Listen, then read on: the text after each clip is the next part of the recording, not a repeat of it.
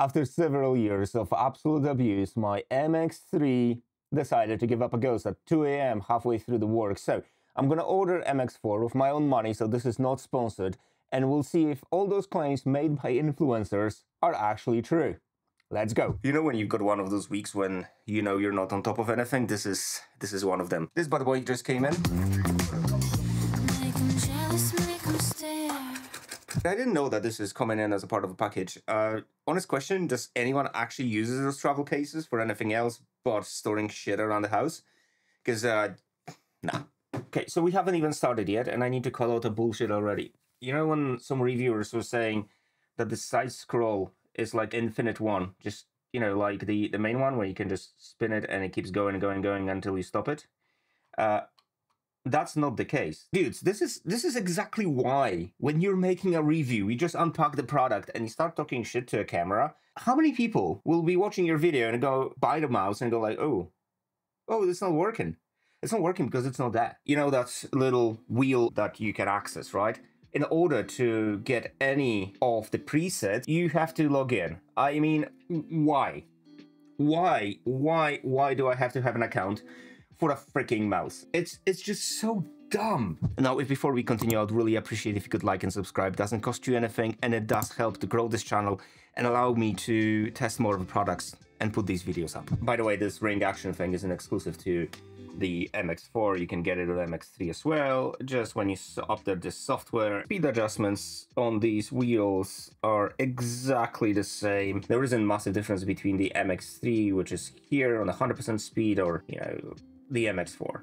So if uh, if that's something you were looking forward to as a change, it just ain't there. Okay, I know I'm making a little bit too much out of the scroll wheel, but see how on the MX3 it sits just here, right? So it's below. Oh, focus Canon, Jesus R5. When it sits just here, and on the MX4 is in line with your left button. So when you're scrolling, you're basically smudging that left button a little bit as well, which sends vibrations. It's not a big deal, it's just it's just that. Right, so I'm sure these profiles will be awesome when they'll start working, but we've been sitting like this for the last 15 minutes and nothing's happening. So I spent the whole day using this. I was thinking that I'm gonna make a video in one day, but then everything just collapsed. There were projects coming from different directions and I just had to dig in and work. The bottom line is that I had a full 12, 14 hours of use of this versus my previous MX3. And the conclusion is it's a mouse. I know some people made a big deal out of the weight increase. It sounds horrible, but it- it's it's 6% increase. It's 150 grams now instead of 140 something.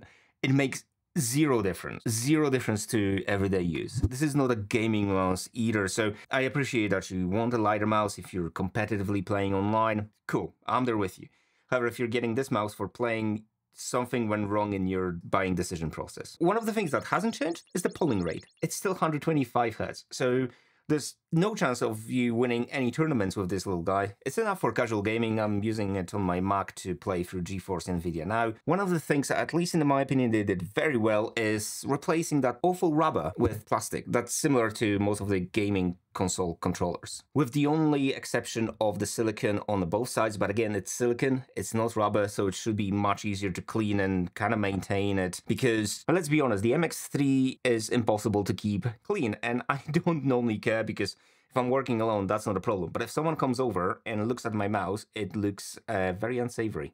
No matter how much time you spend cleaning it. In terms of repositioning the buttons, I don't see this as a, any kind of issue. I don't know why people are saying that oh, it was going to take you a couple of days to get used to it. They're actually in the same place. The only difference is that the back and forth button is a little bit pushed backwards, and then you've got gestures button here instead of using that little squishy pad. How much of a difference that's going to make to anyone, I genuinely I'm a little bit impressed because I think it's just a way of adding a little bit of drama to the videos. It, it makes no difference to me whatsoever. And yes, this gesture button actually comes in handy if you configure it properly. Which brings me to another point. I was moaning a little bit about the software need to log in, and I'm still not over it. It's just, I think, unnecessary for us to having to log into a mouse. But the customization in this is pretty awesome, and it probably allows you to streamline your workflow. My only issue is that downloading any of the plugins, like failed on me completely, and I just don't really want to waste my time on trying to do it again. Whereas with the built-in controls, yeah, everything works as it should, and I'm pretty sure the software is going to get better. And the haptic stuff, it, it is handy. Even if you switch on the option to for it to vibrate when you're switching between different screens,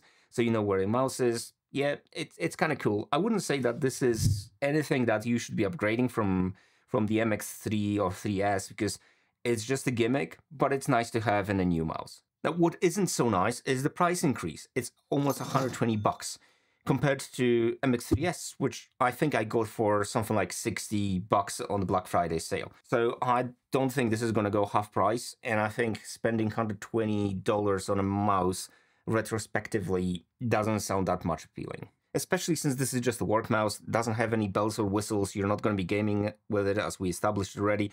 So yeah, if a price is a problem, I would still go with the MX3S because it will only get cheaper now. Okay, someone mentioned that there's no cable coming with this. Thank you, because I've got hundreds of cables lying in my drawers and I appreciate, again, price point of 120 should be included. Um, I don't think that's that, that that's a thing we should be focusing on because we all have loads of cables and I literally never use anything coming with these products because they're typically pretty shit. And I've got enough cables lying around here. Speaking of which, this is USB-C and the dongle, voila, is USB-C as well. I couldn't really understand why the 3S came with USB-C port on the front and then USB-A dongle. It just didn't make any sense. What still doesn't make any sense to me is why can't we use this as a wired mouse? The reason why I'm talking about the wired mode is that just like with the 3S, I did have some communication with my Mac. It's not that it was jittery like on the previous one, although I do have a lot of different Bluetooth signals in my room and Wi-Fi, but it literally refused to connect once and I had to remap it to a second device. And it did happen a few times with the MX3. And I do like having things wired up, so whenever I'm in a work mode, I don't want to mess around, even with my Keychron I've got it in wired mode because A, latency is different when you've got wires involved, but also it is bulletproof because it's wired, so it works all the time. In terms of how loud it is and the clicks, if you're working at night like me, I should say that I should care more about like the noise coming out of my room, but this is clicky enough. Uh, and the 3S and the 4, they sound exactly the same. So here's the uh, sound sample for those who like listening to clicks. Terms of shape of these two, they are almost exactly the same. I would say the MX4 has this bump a little bit taller than the MX3, which actually fits my hand a little bit better. And I know some people complain about the size of the mouse. If you got a standard size hand, this should be an issue. And if you found the previous iteration of this mouse being like correct size and comfort for you, you'll be just right at home with the MX4. So look, if your mouse is about to die, the Logitech MX4 is definitely one of the best workhorses out there. If you've got MX3 or MX3S and it's not giving you any trouble, or just isn't looking absolutely fugly, you really don't need to have FOMO over this one. Aside from the price, I have no regrets here, and previous one served me so well that I'm pretty sure that this one will do just as good.